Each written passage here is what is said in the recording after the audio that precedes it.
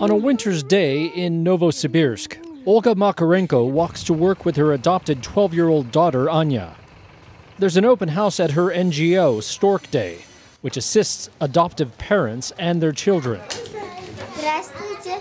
Olga used to volunteer at the orphanage where Anya once lived, and they share painful memories of the place. Однажды Ребенок пролил молоко, я вытерла со стола и выжила тряпку. Ну, и дала ребенку другое молоко. И она говорит, ты знаешь, а в детском доме нам эту тряпку выживали, выжимали в стакан и заставляли пить. Olga also adopted Anya's sister Rita, and the girls joined Olga's two sons in a loving home. At Olga's NGO, adoptive parent Tatiana Savko shares a story about the conditions at one of Russia's state orphanages. Я когда приехала за своим ребенком, я впервые столкнулась с такими глазами. Когда ребенок абсолютно отрешен, он смотрит, он смотрит мимо тебя. Ее посадили, она сидит, ей было 11 месяцев. Ее положили, она лежит. Кощунство, даже мысль допускать о том, что ребенку может быть хорошо в казенном доме. Ну, это ну, как тюрьма. Russia's orphanages have come under heightened international attention since 2012. That's when Moscow banned U.S. citizens from adopting Russian children in retaliation for economic sanctions against Russia. Three years later, Russian officials argue that the number of kids in orphanages has actually fallen, a positive sign for domestic adoptions.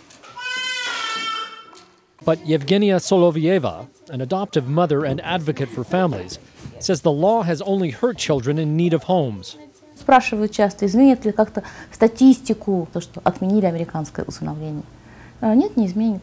Ну, улучшит российскую статистику усыновлений, отмена американского. Нет, не изменит. Но судьбы нескольких детей, пусть их даже 50 будет всего, изменит. Это плохо. Я за слова классика, выслединка одного ребенка, наверное, важнее, чем все на свете. Those who work for Russian adoption organizations say statistics are easily manipulated. For example, by changing the status of orphans to children in temporary care. And there are Russian parents who believe the ban on U.S. adoptions has kept some children from finding new families. Мне просто стыдно. И стыдно за наше правительство, за Россию. То есть так, так просто нельзя. Детям надо давать шанс, то есть все должны в конечном счете, чтобы у всех были родители. Марина, я сам буду. Vanya is one child whose fortunes have changed for the better. He was removed from an abusive family and placed in an orphanage. But today he is going home with a new mother and father. Пожалуйста, спасибо.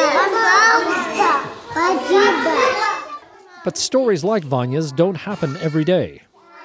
Не часто вот такие вот родители появляются, и не часто, вот знаете, вот такая радость от именно усыновления.